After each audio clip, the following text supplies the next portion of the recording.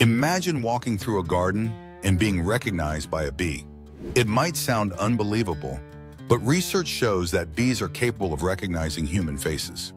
Scientists trained honeybees by showing them photographs of human faces and rewarding them with sweet treats for correct recognition. Using their remarkable pattern recognition skills, bees learn to distinguish between different faces, much like we do. They don't see faces as a whole, but instead break them down into simple features, eyes, nose, mouth, and piece them together to form a visual memory.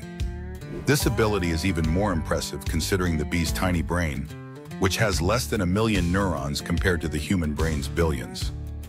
This discovery challenges our assumptions about insect intelligence, proving that even small creatures can have surprisingly complex cognitive abilities. Bees use this skill in the wild to identify flowers and navigate their environment efficiently. Their face recognition ability highlights the remarkable adaptability and learning capacity of insects, expanding our understanding of animal intelligence and the diverse ways creatures perceive the world around them. Want more WTF insect intelligence? Smash subscribe and ring that bell.